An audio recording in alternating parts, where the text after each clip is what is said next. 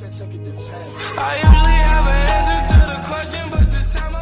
Usually when we print multiple objects, we print one and one layer over the whole build plate. This creates a lot of travel movement and sometimes when we have small parts like you see on the screen here, it would be nice to print more at once. Then we don't have to bother with cooling times and so on. Travel movements will create a lot of stringing, especially if you print PETG or other high viscosity materials. So let's slice these parts. So let's have a look at the travel movements. These are the travel movements. And as you can see, it travels back and forth 96 times or more than that because we have 96 layers. Let's have a look at what's going on. Let's simulate this print. So let's start the first layer and see. Finish the first layer on the first part and then it travels. And of course we have retraction and we have travel. So this takes time and it could cause stringing as well. Let's go to the next layer and see.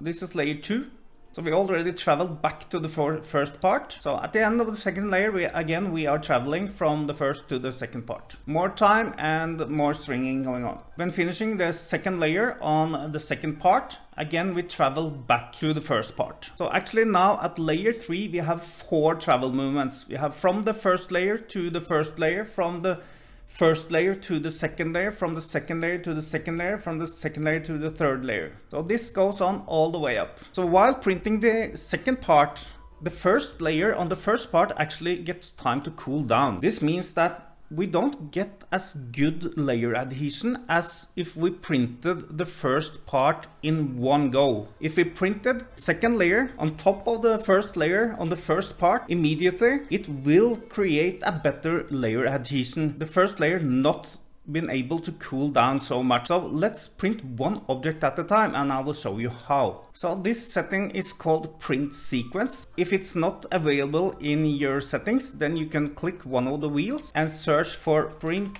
sequence and then just check this box. Close to the bottom in your settings you will find print sequence. So here you can see all at once. This is normal but if you set one at a time something will happen. So let's close that and slice it and we will also save a little bit of time uh, on these objects not so much but if you print let's say four objects or more then you will save more time because you reduce the travel now we have one travel movement and not 150 so that's why you reduce the stringing and increase layer adhesion so let's have a look i will tell you something important about placing the objects after I show you this. So let's have a look. Let's play this first layer. Let's speed it up.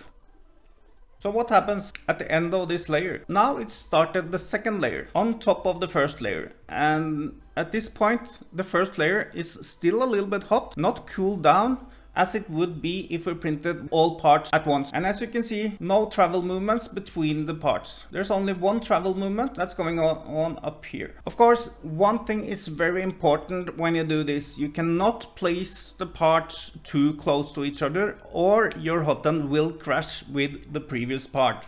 So you could not fill up the bed with a lot of parts. You need to have space between them. So make sure that you have that in place and you are good to go. So that's today's quick tip on printing multiple objects one part at a time. Have a nice one and see you guys soon.